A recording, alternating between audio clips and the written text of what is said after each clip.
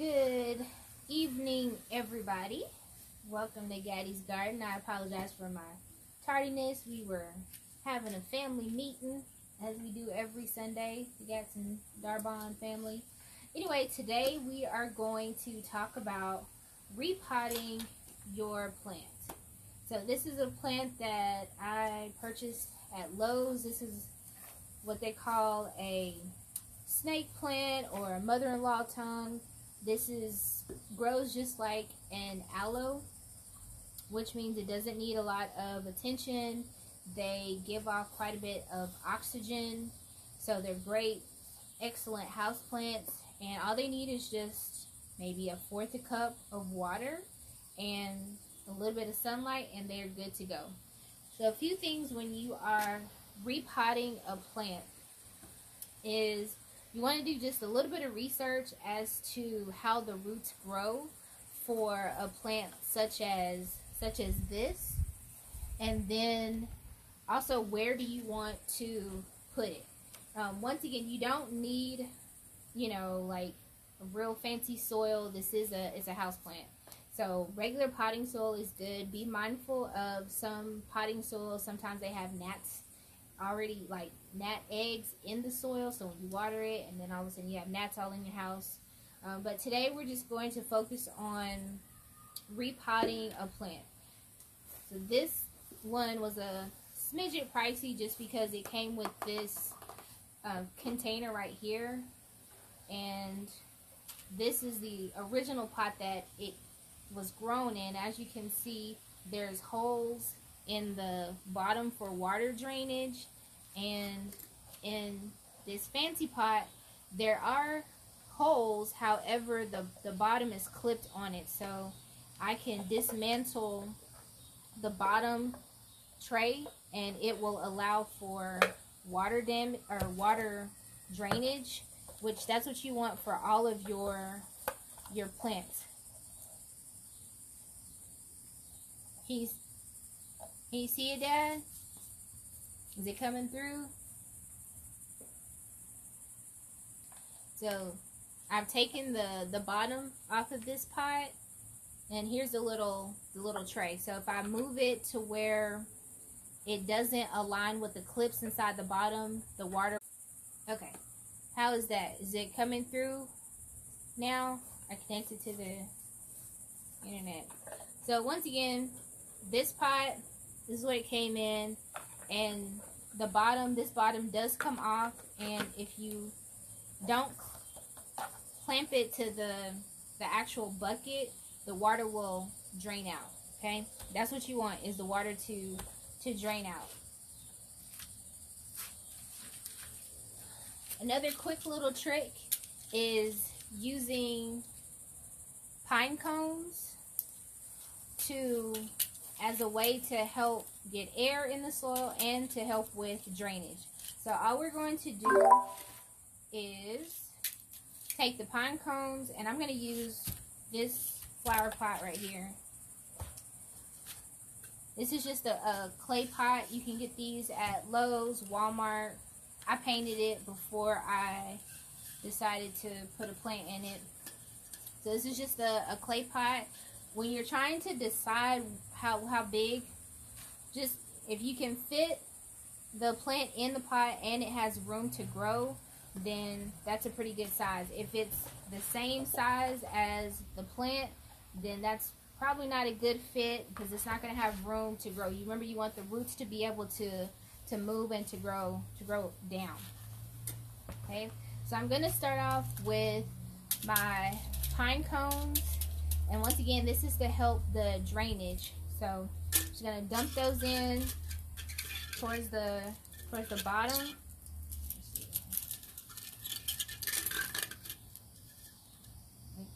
And these are gonna eventually break down so you don't have to worry about where where they're gonna go and whatnot. Then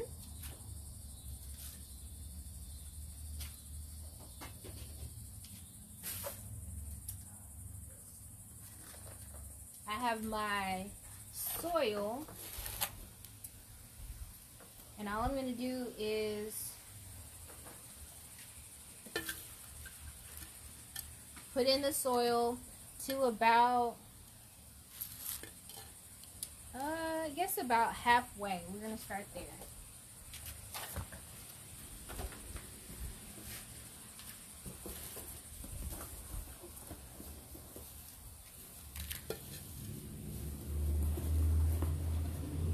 So all I'm doing is putting soil in in my pot. I'm going to fill it up about halfway. And then I'm going to give it a little test run. The goal is to have the dirt to come all the way up to the top of your pot. And then also to make sure the top of the plant, so right here, this would be like the top of the plant, is the same in this pot. Look at this. You can see the roots are starting to wrap around themselves. This root right here is going to be another another plant, okay? So this is what you want to when you're repotting, this is essentially what is happening in in your plant. And it's going to keep wrapping around and wrapping around because it doesn't have anywhere else to go. And this is a plant that reproduces asexually, which means it's going to reproduce more plants that are just like itself. Okay? And what I'm going to do is very gently separate this plant. You don't have to, to do this. If you're scared about, you know, breaking it or, you know, killing it, then, you know, by all means, you would just stick it in your, in your pot. Okay?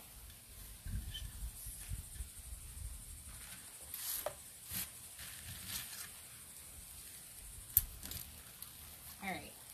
I'm to do one pine cone because I think it's too much going on in the pot. I'm not to have room for my plant. So, put that back in there.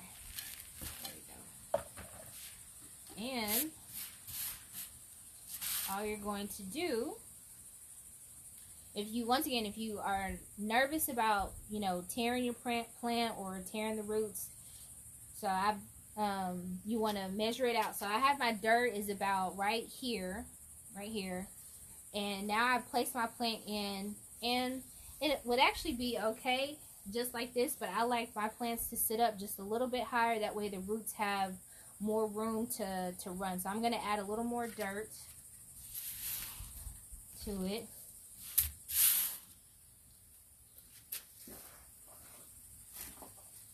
Okay. And then I'm going to try it out again. So it's sitting up where I would like it. And after that, all I do is just put in more dirt and press it down and then water. But I bought this so that I could have more than one plant. Okay. And you see all the roots there. So all you're going to do is dig kind of a little bit of hole. Give it room to cuddle in with and get it where you want it. Okay, and then add more dirt. All around it, just like that. Put it in. Okay. Just like that.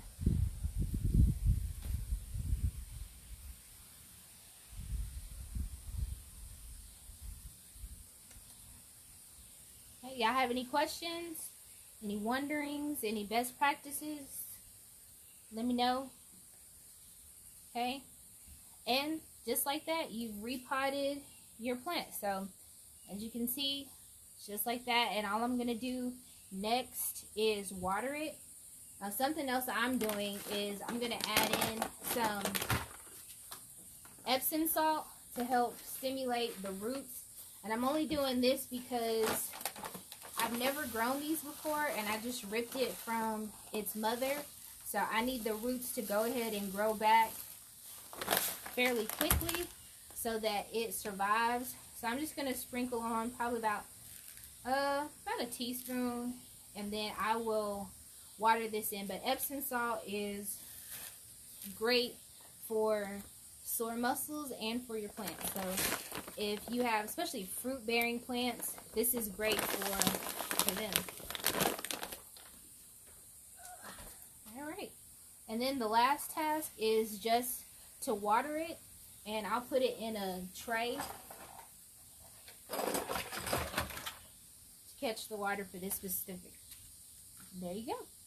So that is how you repot a plant and good to go. How do you know when you need to uh, repot a plant?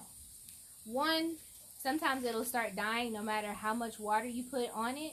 Um, let it go for at least a week before you add more water just in case it is drowning from being overwatered. And when you know that the soil is completely dry, you know, take it out, check it out. If the roots are wrapping around, then it needs more room to, to grow. Now, if you, you know, don't want it to get any bigger, then leave it in the container that it is in. A plant such as this, as you saw, like the roots wrapping around and then they just start growing back up, okay? So this is the the mother plant here. Like I said, you can see where it's starting to regrow more right here. So these are going to be more plants just like this. This is a, a pretty good, uh, actually a very good purchase. If you take care of it, I paid 11 bucks-ish for it. And it actually came with two plants, but it's going to start reproducing to where I can take this and have multiple house plants. Okay?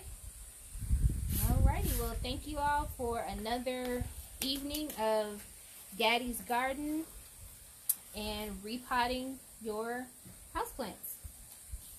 I will talk to you all later. Thank you.